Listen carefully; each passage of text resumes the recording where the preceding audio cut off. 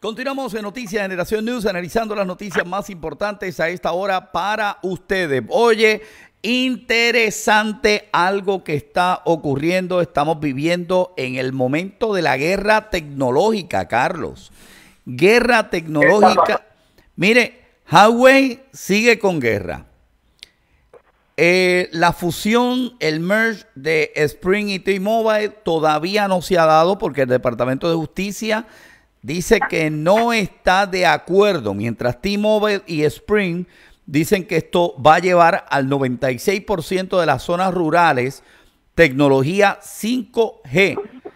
Highway sigue diciendo que va a seguir luchando y que va a tomar su tecnología 5G en el mundo. También le acaba de comprar a una compañía rusa un sistema de, de reconocimiento facial que permite mediante cámaras poder reconocer a una persona que pasó, por dónde pasó. ¿Tú te imaginas eso, Carlos? Tú pasas por una calle y automáticamente dice, Carlos Chardón, dos multas de tránsito, una la pagó, la otra no la ha pagado.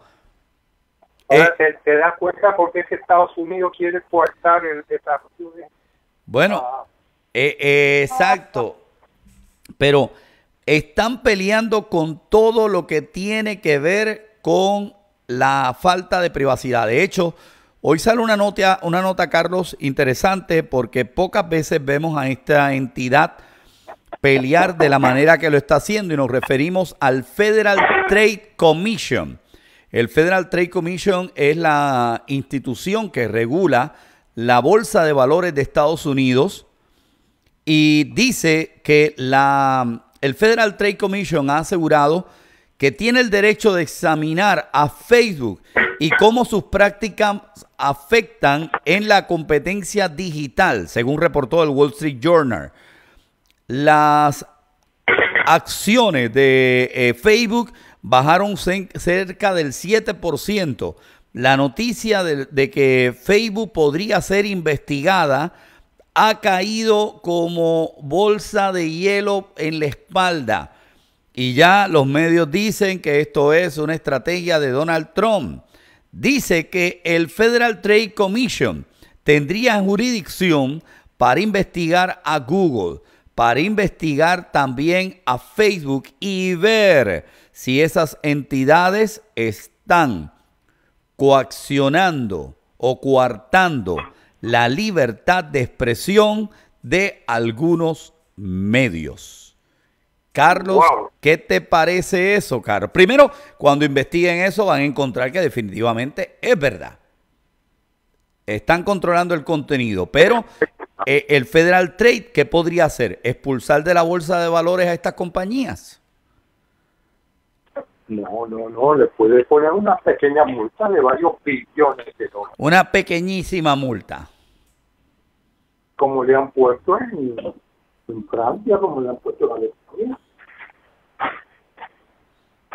Fíjate, entonces, mientras eso está pasando, hoy Apple anunció que la plataforma de iTunes de Apple, que lleva más de 18 años funcionando, eh, va a ser cancelada. Va a ser cancelada. Ahora Apple va a dividir su contenido digital en tres áreas, Apple TV, Apple Music y Apple Podcast. Lo va a dividir en tres áreas, ya no va a haber un, solo iTunes, sino que va a estar dividido en todas estas tres áreas. estamos viviendo por un cambio tecnológico demasiado grande. Carlos, no nos imaginamos ni cómo va a terminar esto el próximo año. Con Apple haciendo más dinero, qué más quieres que te diga? Apple... estudios que Apple ha hecho, eso le va a dar una cantidad adicional de dinero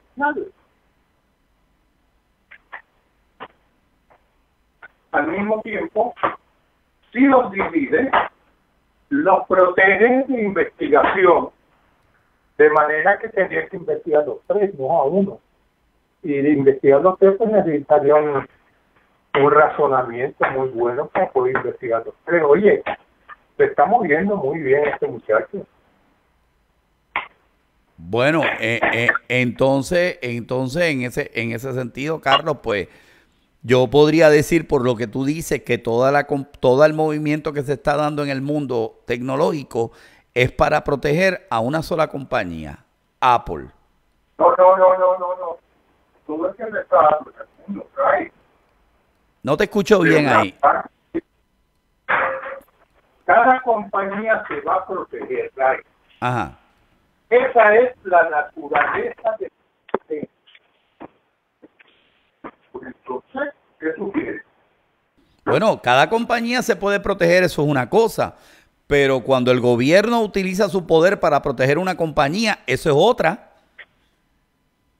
No, y en el proceso de proteger esa compañía, el gobierno está protegiendo la seguridad nacional, donde la seguridad nacional se define de la siguiente manera.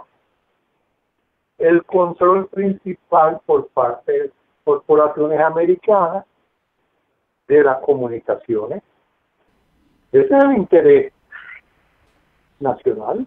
Claro, pero eh, entonces, como vamos, eh, Carlos, vamos a tener que comprar puramente aparatos americanos porque ahora mismo... No, y Samsung. Sí, pero por, por, eso Samsung es de Corea, Apple es de China, porque el iPhone lo hacen en China. Este LG no sé de dónde viene. Este todo eso, o sea, entonces a la hora de la verdad ¿qué vamos a hacer? O sea, vamos a tener que lo que no se produzca aquí no lo vamos a usar. No, no, no estoy diciendo que Samsung no hay ningún problema hasta ahora.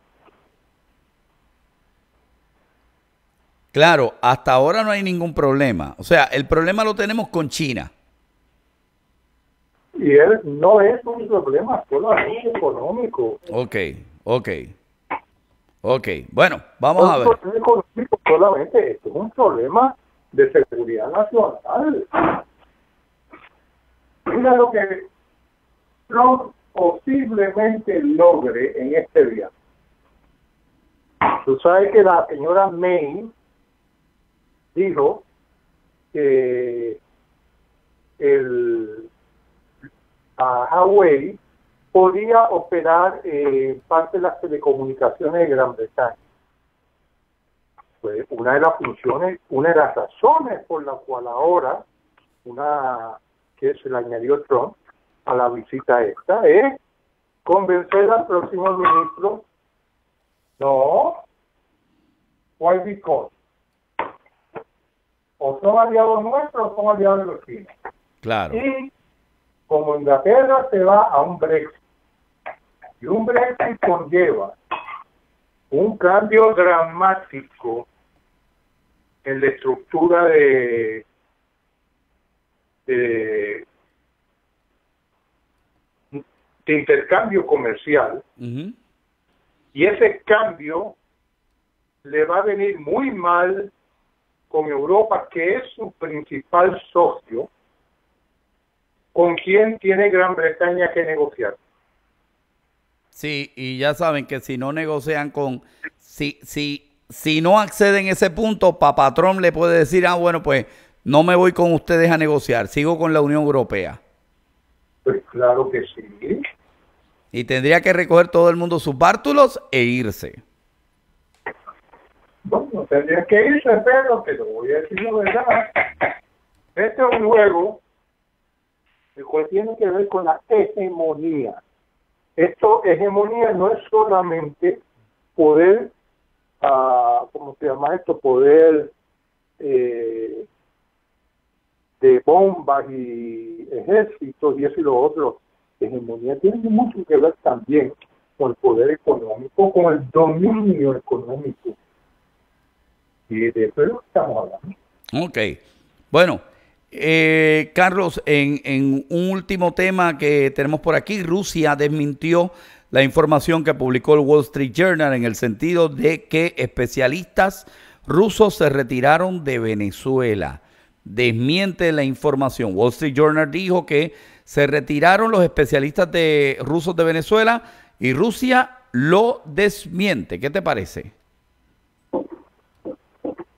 Es todo parte de la lucha que hay entre Estados Unidos y el mundo comunista. Venezuela fue uno de los lugares donde se ha metido Rusia y donde ha comprado y donde se ha hecho dueño de muchas de, la, de las minas. Pues vamos a ver qué es lo que va a pasar ahora. Claro que sí. Ah, definitivamente Rusia no te va a regalar nada de eso a Trump. De eso no hay ninguna duda. No va a ser tan fácil. Bueno, vamos a ver entonces. Carlos, gracias por el análisis. Algo que se nos esté quedando este, pendiente. No, no se me ocurre nada. No, bueno, Argentina que dice que está mil puntos, supera los mil puntos y alcanza su máximo en la era Macri. El riesgo del país supera los mil puntos. No le va bien a Macri. No, no, no, no, no. Y, no, le, no le iba a decir a nadie que viniera después de la financiación. Ella apoyó y regaló todo. Sí. Y ahora, lo que regaló, tiene que recogerlo. y la gente no está contenta porque se acostumbraron, acostumbraron a lo que llamamos en Puerto Rico el mango A que se lo regalaran, así es. Así es. Bueno, vamos a ver, ahora sí. Ahora sí, gracias por tu análisis en el día de hoy, Carlos. Fue un placer, Claro que sí, ahí estaba Carlos Chardón en vivo con nosotros analizando las noticias más importantes del día. Somos Ray Cruz y Carlos Chardón en Noticias Generación News.